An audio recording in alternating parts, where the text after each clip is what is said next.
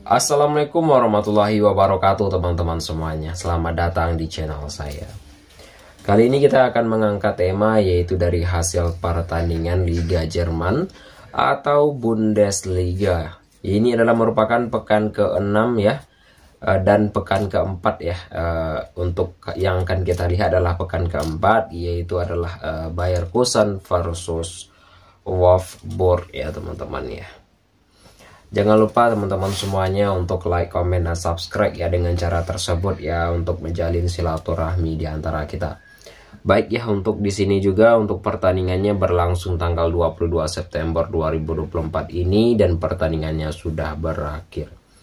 Nah untuk pertandingannya adalah Bayer Kusen versus uh, Swav ya yaitu pertandingannya dengan berakhir skor 4-3 dimenangkan oleh Bayer Kusen ya teman-teman ya untuk Walburg ya, ya ini adalah merupakan pertandingan yang sekian kalinya oleh Bayer Kusen dan uh, menempuh titik yang uh, sedikit ya teman-teman ya karena skornya adalah 4-3 selisihnya cuma satu poin saja untuk dari beberapa sebuah analisis pertandingan tentunya yaitu adalah sebuah uh, gol yang tercipta yaitu di menit berapa dan kita akan melihatnya serta akan mengulas uh, secara singkat dan padat saja.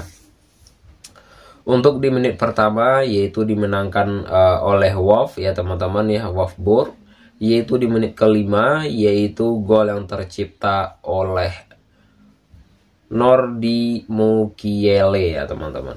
Sedangkan yang uh, di menit ke-14 yaitu gol yang tercipta oleh uh, Bayer Kusen adalah Florin Wins ya teman-teman.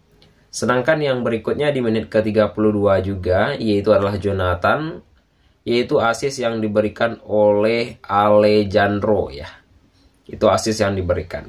Ya, sedangkan di menit ke-37 tentunya yaitu gol yang tercipta oleh uh, Wolfsburg yaitu oleh Sebastian ya teman-teman dan asis yang diberikan oleh Jakob Kamis Riki ya teman-teman.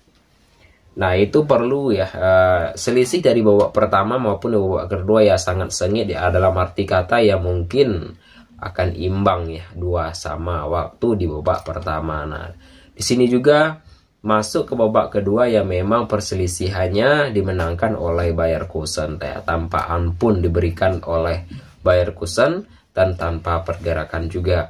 Nah untuk di menit ke-48 yaitu asis yang diberikan oleh Alex Garcia yaitu gol yang tercipta oleh Piero ya teman-teman. Sedangkan dari menit eh, 90 ya, intinya 90 menit yaitu ditambah waktu 3 menit yaitu gol yang tercipta juga oleh Bayer Kusen oleh Victor Bonisfasi ya teman-teman. Itu semuanya skor berakhir 4-3 dimenangkan oleh Bayer Kusen. Dan sekarang juga kita akan melihat untuk uh, statistik pertandingannya yaitu memang ya dalam penempatan bola memang uh, Bayer Kusen lebih menguasai bola 80% sedangkan dari Wolfsburg yaitu 21%.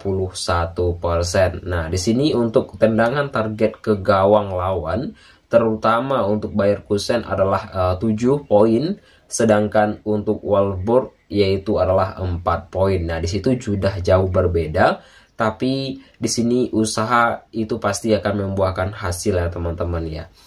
Nah, untuk di sini juga untuk top klasemen sementara Liga Jerman ya teman-teman ya untuk Bundes yaitu top klasemen sementara yaitu adalah Bayer Kusen eh, di peringkat kedua sedangkan Wolfsburg yaitu berada di peringkat ke-13 ya.